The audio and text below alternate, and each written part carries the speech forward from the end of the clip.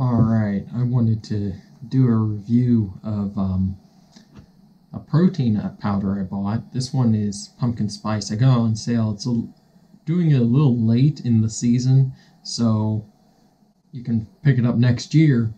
But um, this one's from Orgain. Uh, I've tried some of their other stuff and it's pretty good. Um, one gram of sugar and 21 grams of protein, 170 calories for a serving. So, pretty good. And in my opinion, the best thing about them is if you don't want to go with whey, going with something like this is they use uh, pea protein as one of their main sources as opposed to soy.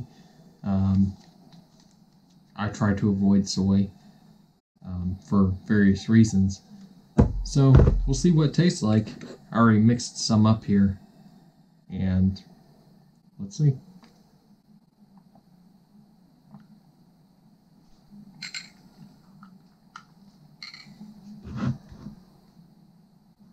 It's more like a um,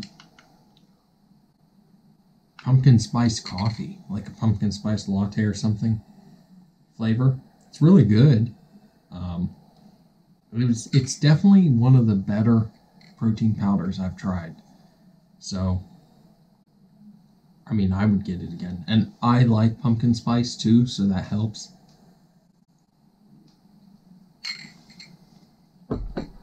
I would probably rank this. Now, this is on protein powders. We're not comparing this to an actual pumpkin spice latte or to a pumpkin pie or anything.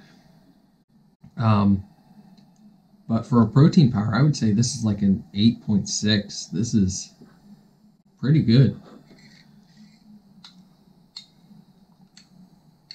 I mean, I would definitely get this again. I wish I bought it on sale. I wish I'd bought some more.